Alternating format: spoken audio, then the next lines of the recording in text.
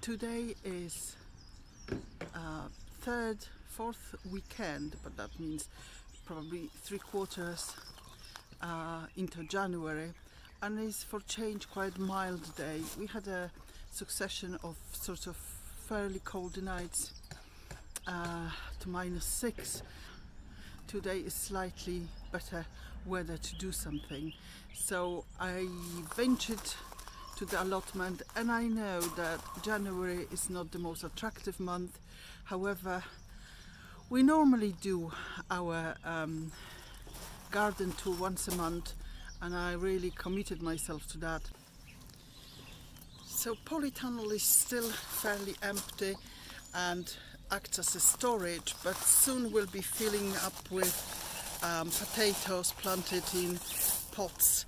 So that's not far from happening.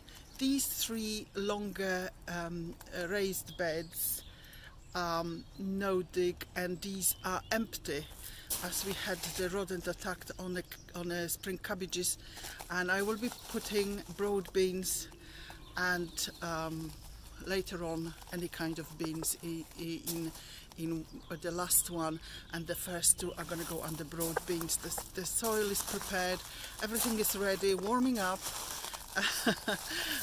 and hoping for for something to be planted there. Now this bed needs some attention. This is the only surviving bed of spring cabbage. I don't know how many of them will survive. They have quite a lot of um, slug damage. So, but I'm hoping that at least five of them will make it. And this is my uh, organic slug um, repellent. Water is going slightly crazy there. Uh, and in between, as you can see, there is a uh, elephant garlic planted. I've got, I had four cloves, so all four of them are planted. I'm going to weed it today and sort it out. That's why the wool is out.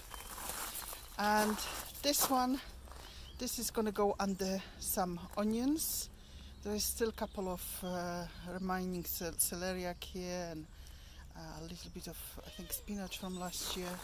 Um, but that is going to be done today. That's a easy thing. It's been amended already but I might put a little bit more compost in um, and it's ready to go. The flower bed as you can see things are sprouting had a great sort of rate.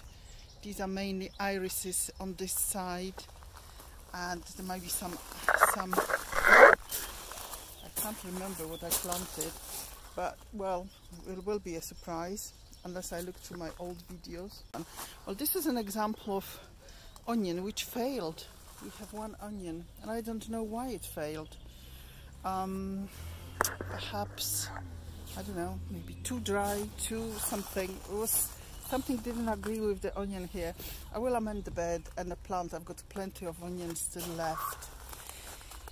So this is a purple sprouting broccoli and they are doing okay, I would say. Um, I can see that some of them are um, sort of more advanced than others. I can't see any broccoli heads on any of them yet. Um, but they have lots of side shoots. Some of them are not, but that's okay because we won't have a glut at the same time, which is okay. Now, this one, this bed here, well, it's got some garlic. This is all my soft neck garlic and it's at the moment it's getting slightly some of the leaves are getting yellow. I'm not sure why. And these are the celeriac. I actually when we covered that that's completely revived.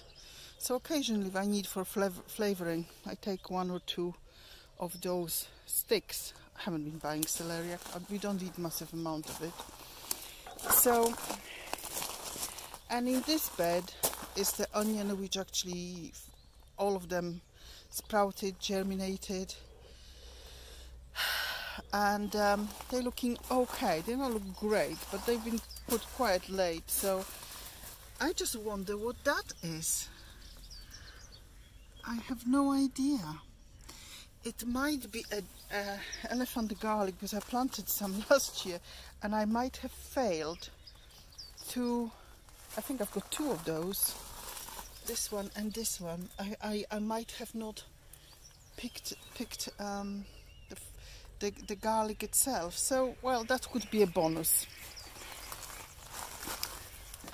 As you can see, there's some blueberry bushes behind and the soft fruit um, bed which has mixture of uh, gooseberries and red, red, white and black currants. Um, this is altogether nine of them. Um, these are a couple of little beds, so uh, luckily I found, Nigel actually found some of that hardneck garlic um, and I planted it last week uh, and I'll show you what happened. Nigel found my uh, lost hardneck garlic so on the right hand side we've got the hardneck Lautrec Wight and I only planted uh, 13 cloves of that or 12 and 15 of the Carcassonne Wight on the left hand side. I shall cover them now but this will be also a reminder for me what I planted where. So next to it is the bed which had sweet chard in and parsley and well I've cleared it mostly last weekend. There's few bits left but now it's been so frosty it all have gone. Um, I've got shallots ready for this but I won't put them in this week maybe a couple of weeks when they actually root I speed them up a little bit in a in a polytunnel I mean these are sets of shallots now the this area well we will have lots of self self-sown nasturtium not nasturtium, calendula here actually. But because it all kind of died down, and last year I had some which actually overwintered, funnily. Well, this year that didn't happen. I can clear it up and um, make sure, because there was quite weedy here, make sure that we don't have the same problem this year. Um, there is quite few raspberries which obviously came across from behind the chicken wire here so all these are gonna be transplanted to the food forest. So I've got one two three four five six seven eight nine ten well in excess about 20 and they are mixed. Some of them are uh, winter and some of them are summer. So I'm not sure how I will plant them. Um, but I will try to guess um, I also have a couple of um, um not couple um, one lot of um, raspberries yellow raspberries on order so that should arrive soon and that that's going to be the day when we for a very very first time uh, plant some um, uh, something in the food forest. We we tidied up the soft fruit around the uh, horse box. And well look Ace is just here. Hello Ace.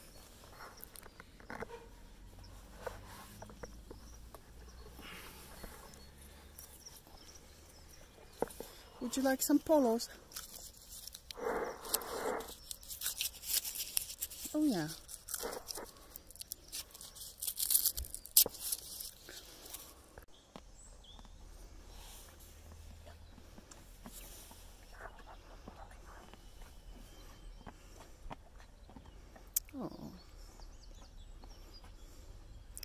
cold recently for you, haven't it? Yes, I know you have a warm coat, but it's been cold for an old horse. Just bear with me. Let me get you some more.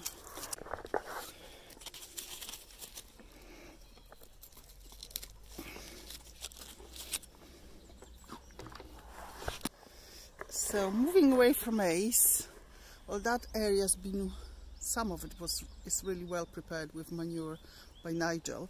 We will be uncovering this plastic here uh, quite soon, I would say probably end of February, beginning of March, because this is going to be our new potatoes area. I always use potatoes to sort of work the ground um, and cover it with um, green compost and it saves both our backs um, and um, well it works for us but obviously if you're energetic person you might prefer to dig it but not. We we put potatoes in all of these first year beds and then a little bit more green compost each year and the weeding is reasonably okay.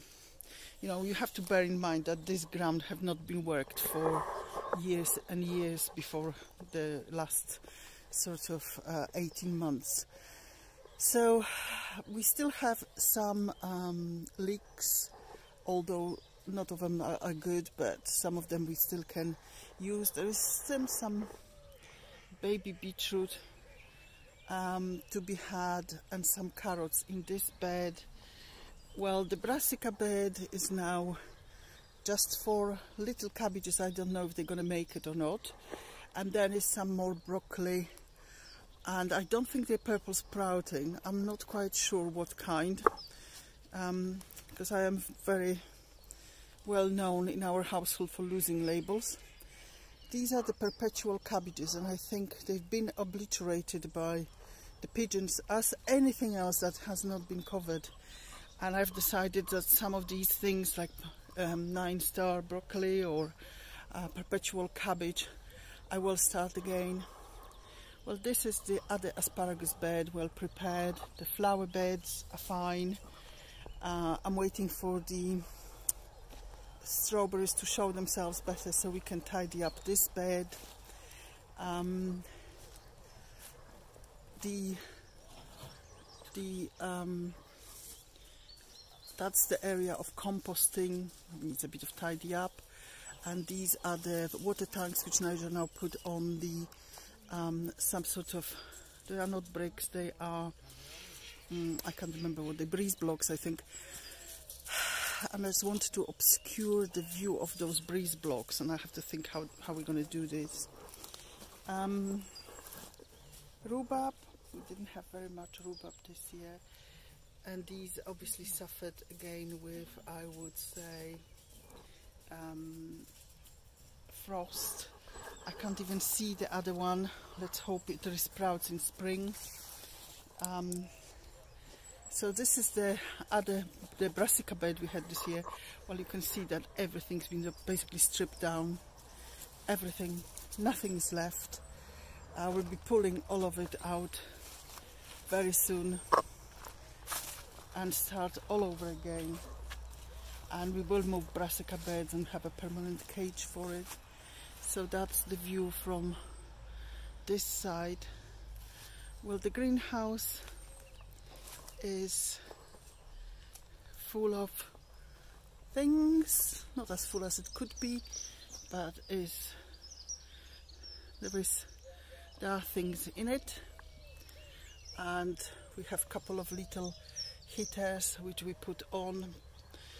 Are experimenting with overwintering chilies and peppers the bees are very nicely tucked in. They seem to be fine. When it's a nice sunny day occasionally some of them come out for I think clearing sort of cleansing flights. And in here um, it's going to be when we're going to plant the um, the raspberries. And I'm just looking for the space for them because I think um, as I'm looking walking through this forest of things um, I think we will clear up some of that, cut the branches out, and that could be beginning of the of the raspberries here and uh, currants and so on. Um, just just here, just here.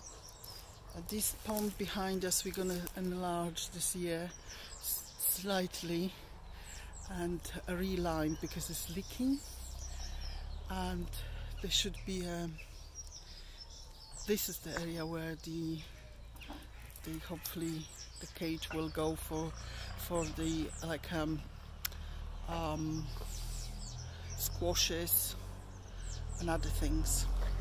I had a good look around the future extension to the allotment to plan uh, how we're going to approach this because it's something to think about. It's not something we're going to take lightly. And um, I harvested some leeks and some carrots again. And uh, oh, the water is boiling over. And we also uh, fed those raspberries with manure and we um, uh, I've, I've I've weeded some some things, especially weeded the cabbage bed and put some um, wool pellets all around it. And um, well, that's it from us for this week, and hopefully be back next week with some more news from the allotment in the field. And it's goodbye from me. And it's goodbye from me. I've just made the tea.